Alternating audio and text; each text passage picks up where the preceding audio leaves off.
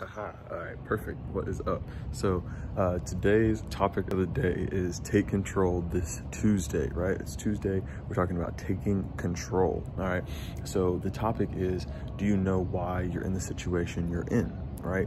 Um, we're all in various situations, but a lot of different people, different places, come from different places, different genders, races, like backgrounds, I mean, everything, right? Different ages also, but we can all sit at the same table. And why is that? Because we're all similar because we go through different things, but we all have different experiences. We have different situations, we're in different environments, we have different people in our environments and experiences, right? So what we can do is realize, okay, where am I at?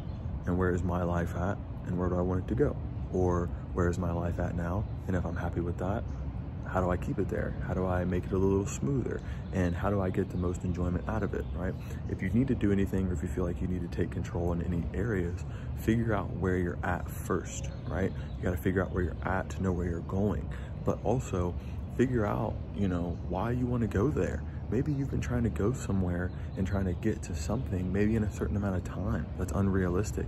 Maybe you've been thinking about going somewhere or doing something because you've seen other people do it, or maybe you want to do something a certain way because you saw other people do it.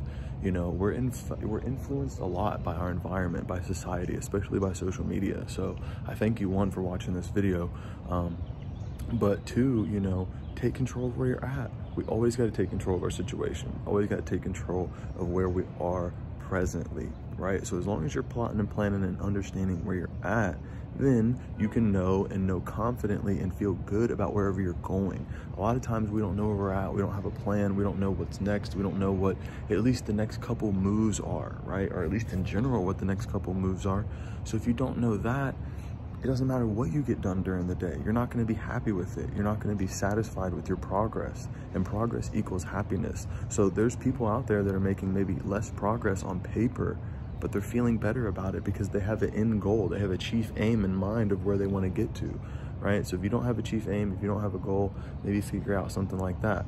But if you know where you're at right now, that can help you feel more towards where you want to go because understand your feelings take control of where you're at and what feelings you're experiencing then that can help you know okay these things are important to me those things are important to me. And then you can revolve kind of where you want to go or what you want to have or do or be based off of that. So um, I hope that that can help a little bit.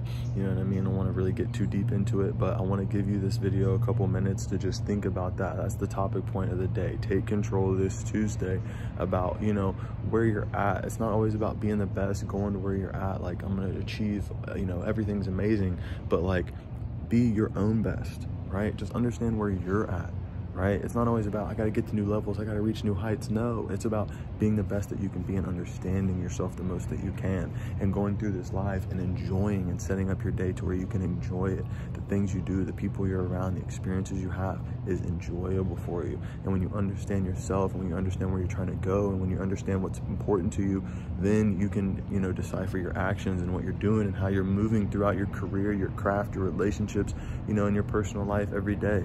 So um, I see this video is at three minutes and 33 seconds. I'm gonna take it as alignment. We out, all right? Alkaline Austin Hale here to just share this message with y'all. You know, share it with somebody else. It's just a couple minutes. You know, take a couple more minutes and just say, I got this. Take a couple more minutes and just say, give me understanding. I receive understanding.